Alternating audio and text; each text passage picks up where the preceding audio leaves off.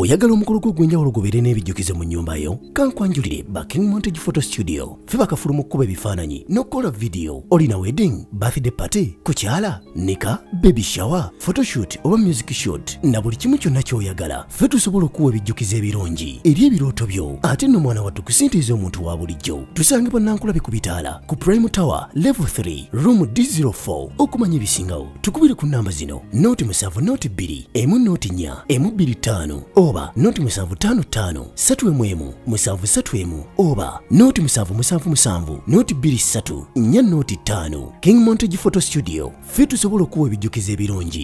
mwana omuntu wa bulijjo Thank you for watching Love Media Uganda and if you're renewed to this channel please subscribe. Today we looking at 7 worst African leaders. Good governance is gaining major ground in Africa. It is occurring at a slow pace, but at least it is happening. It is no cliché that some African leaders are becoming increasingly democratic and are showing a meaningful step in improving their governance. Some of them have become more considerate of their citizens' values and are showing more respect for human and civil rights. But, among some of the great leaders, the villains still linger and there is a handful of them. This year I have conducted extensive research and personally reached out to young activists to nominate some of the worst African leaders of 2021. I received more than 400 replies, and based on those answers, here are the 7 worst African leaders of 2021. 1. Teodoro Obiang, President of Equatorial Guinea Equatorial Guinea. Teodoro Obiang is Africa's longest-serving leader.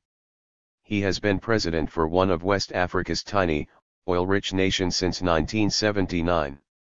He came to power by overthrowing his uncle, Francisco Macias Nguema, in a bloody coup d'état.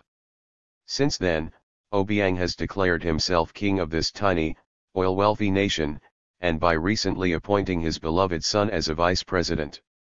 Equatorial Guinea has one of the largest per capita revenues in the world, but this doesn't translate into prosperity for its citizens. Why? Obiang and his family are mismanaging the country's assets, while the poor people suffer. The country is ranked very poorly in the United Nations Human Development Index. Under Obiang's leadership, the vast majority of Equatorial Guineans rarely have access to fresh drinking water, electricity in some parts of the country, jobs, healthcare, etc. Meanwhile, the vice president, who happens to be the first son of the president, spends millions of dollars on lavish lifestyles and has no conscience for his fellow Equatorial Guineans. 2. King Mswati III, King of Eswatini Swaziland. Africa's last supreme monarch rules over a nation, kingdom, which has one of the world's highest HIV rates with over 35% of adults. In Eswatini, the average life expectancy is the lowest in the world at 33 years. 70% of people live on less than $1 a day, and 40% are jobless. Why is that, especially when the country is rich with natural resources? Of all the suffering the people of Eswatini bear, King Mswati has hardly shown concern or interest in solving their problems. Instead, he lives extravagantly, using his kingdom's assets to finance his costly affections for German cars, first-class leisure excursions around the world and his constant taste for beautiful younger women. Past mismanagement of the country's money has resulted in a severe economic crisis. Eswatini is on the brink of collapse, and grants have been terminated. A while back, King Mswati begged neighboring South Africa for a fiscal bailout. The king's reckless behaviors show us precisely what happened when there is a greedy and selfish person in a position of power. 3. Omar al-Bashir, ex-leader of North Sudan South Sudan. Thirty years ago, 1989, al-Bashir came to power through a bloodless military takeover against the administration of Prime Minister Sadiq al-Mahdi a democratically chosen leader by the citizens of Sudan. Soon after grabbing power, al-Bashir disbanded all political factions in his nation, dismissed the country's parliament and closed all privately owned media outlets. His rule has been marked by civil conflicts in which 300,000 to 1 million people have been murdered, while roughly around 3 million of his citizens have been relocated. His human rights record is one of a century. He is a madman. His crimes range from stealing the country's oil money, stashing away $9 billion into his secret bank accounts in the UK, rape, genocide, war crimes, and crimes against humanity. Bashir is the only recent ex-African president with an arrest warrant from the ICC. After massive protests from, had enough citizens, Sudanese activists, and uprisings, in April of 2019, Bashir was ousted from office with the help of the Sudanese armed forces who did so just to hold on to power. As of now, Bashir has been placed under house confinement pending the establishment of a transitional council. 4. Paul Biya, President of Cameroon Cameroon Cameroon has one of the highest literacy rates on the continent, but its economic growth has been hindered by corruption and decades of dictatorial rule. Given these facts, today, under President Biya, Cameroon is a country known for its instability, sustained violence, and severe human rights violations. President Biya, 85 years old, won another term as of October 7 of last year. Mr. Biya has been in power for 36 years. Imagine that. In the past, Biya's rule has had some success. But now the country is plagued with hostility. In the southwest and northwest, government defense forces have perpetrated extrajudicial killings, burned properties, carried out random arrests, and abused detainees. In his 36-year rule, human rights activists, reporters, lawyers, and teachers have been intimidated, attacked and tormented. 5. Yoweri Museveni, President of Uganda Uganda Yoweri Museveni was involved in the resistance that overthrew infamous Ugandan dictator Idi Amin, 1971-79, and Milton Obote, 1980-85, before seizing power in the 80s. Museveni has been in power since 1986, 33 years. Under him, the country has not seen steady growth. There have been rampant violations of freedom of association, assembly, and expression. Museveni harshly repressed opposition in removing presidential age from the Ugandan constitution to allow him to run again in 2021. In the past 33 years, Museveni's security forces have detained and suppressed opposition party and journalists.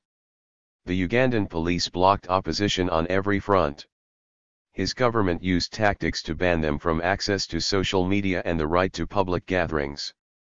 Under Museveni's watch, there have been deadly ethnic clashes and retributions in the Rwenzori region of western Uganda. He signed the anti-homosexuality bill into law on February 24, 2014. This law institutes the penalty of life in prison for gay acts.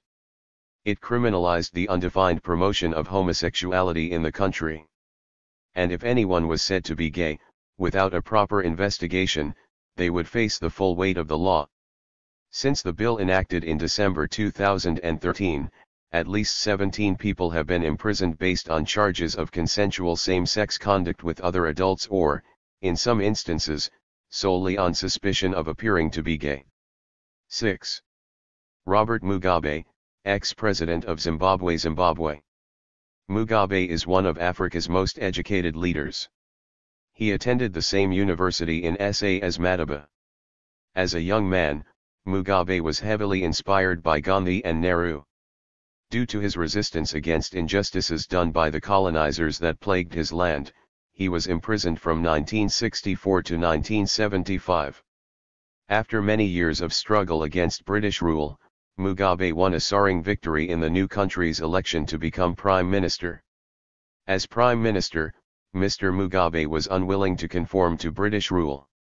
After efforts made not to alienate the country's white masses, he vows reconciliation and unity. But this would just be for a while.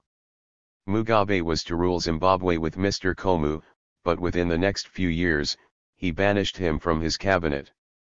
This was a prelude to more disorder. Between 1983 and 1985, Mr. Mugabe sent an armed force in the country's western region, where much of Mr. Nkomo's support resided, to hunt down protesters. 10,000 were killed, the broad majority of them civilians. After a change in the country's constitution, he became president in 1988, a much more dominant position than a prime minister. For the next 12 years he went unchallenged. He instituted plans in government that led to improvements in education and health. Under his rule, over 90% of his people were educated, and the country had one of the highest literacy rates in sub-Saharan Africa. The nation did prosper for a while. In the 1990s things began to decline slowly. In the early 2000s, coming to terms with the newly empowered political adversaries, Mr. Mugabe sponsored gangs of young men who had started to grab white-owned farms. Soon afterward, he announced that the state could grab any land from its white owners without paying them for it. So, the war begins against white farm owners, and the country's agricultural sector went into food curtailments fueled by this disruption. His shortcomings overshadowed his accomplishments. As president of Zimbabwe, he failed to deal with the ever-present dilemma of employment. The country's high literacy rate does not inevitably render into employment opportunities for its people. Under him, before, and after, Zimbabwe's unemployment rate is still one of the highest in sub-Saharan Africa, it is greater than 60%. Mugabe's breaks the record as one of the longest-serving heads of an anti-colonialist movement that became a dictator. As president, he clung to power by any means necessary. He went as far as flogging and assassinating opposition supporters. And when he lost past elections, he ordered his rival to withdraw from the race, even after he had massively won all of the votes. On November 19, 2017, Mugabe's 37-year rule came to an unexpected end. The ZANU-PF ousted Mugabe as party head, succeeding him with Mnangagwa, and declared for his resignation or face impeachment. Mugabe did not comply.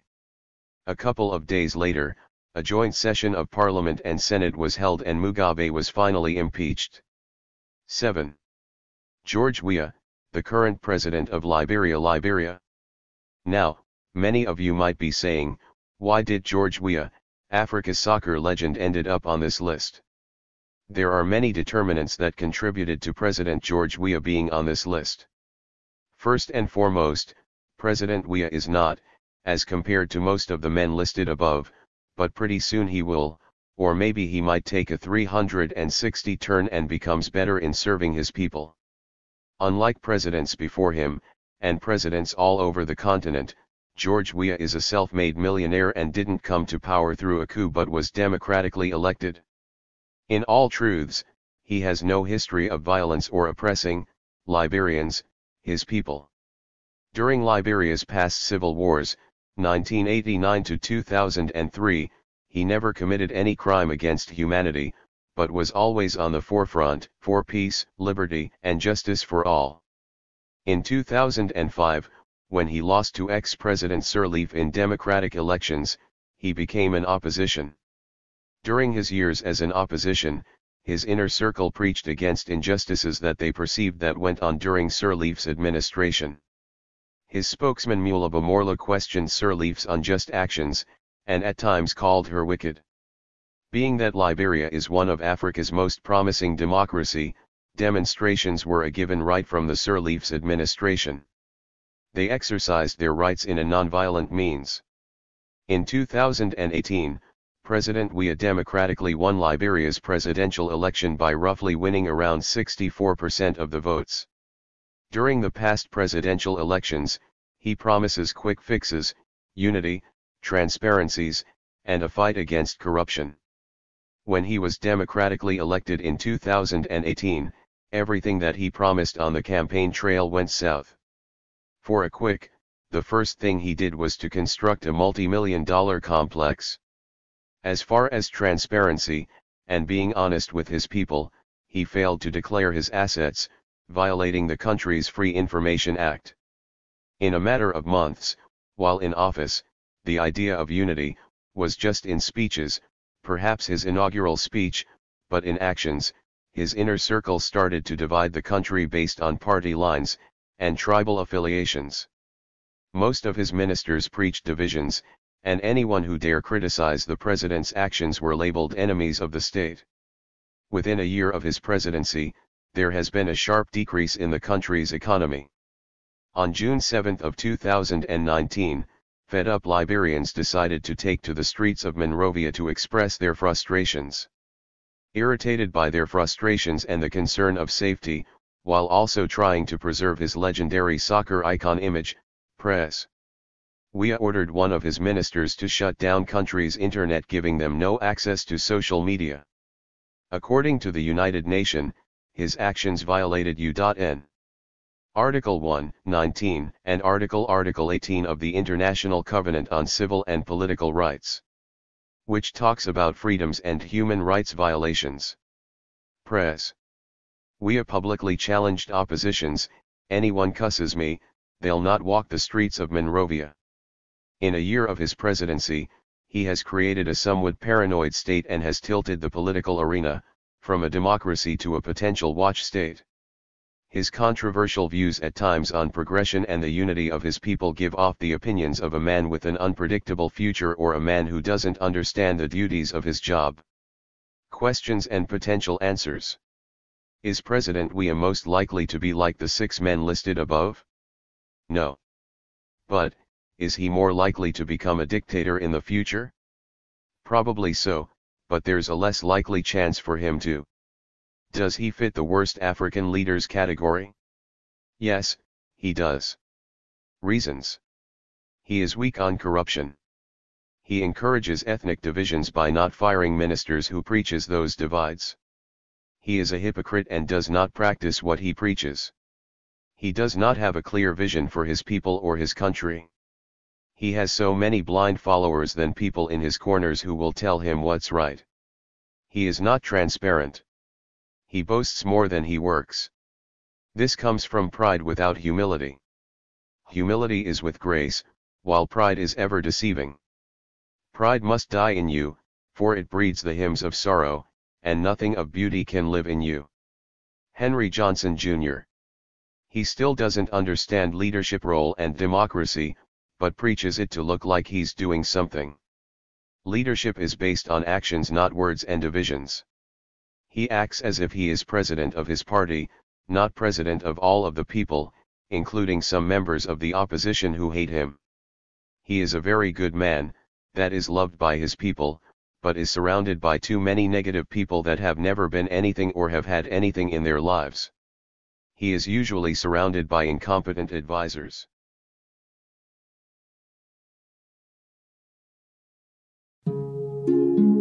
Oyagala omukolo gwo ogw'enjawulo gubeere n'ebijjukize mu nnyumba yo kankwanjulire baking montage photo studio. Fe bakafulu mu kkuba ebifaananyi n'okukola vidiyo olina wedding birthday party kukyala nika baby shower photoshoot oba music shoot. Na buli kimu kyonna ky'oyagala fe tusobola okuwa ebijjukizo ebirungi. Eri ebirooto byo ate nno mwana wattu kusintiiza omuntu wa bulijjo. Tusangibwa nankulabe ku bitaala ku prime tower level 3 room d04 okumanya ebisingawo tukubire ku namba zino noti musanvu noti bbiri emu noti nnya emu bbiri ttaano oba noti musanvu ttaano ttaano ssatu emu emu musanvu ssatu emu oba noti musanvu musanvu musanvu noti bbiri ssatu nnya noti ttaano king montage photo studio ffe tusobola okuwa ebijjukizo ebirungi ate nno mwana wattu kusintiiza omuntu wa bulijjo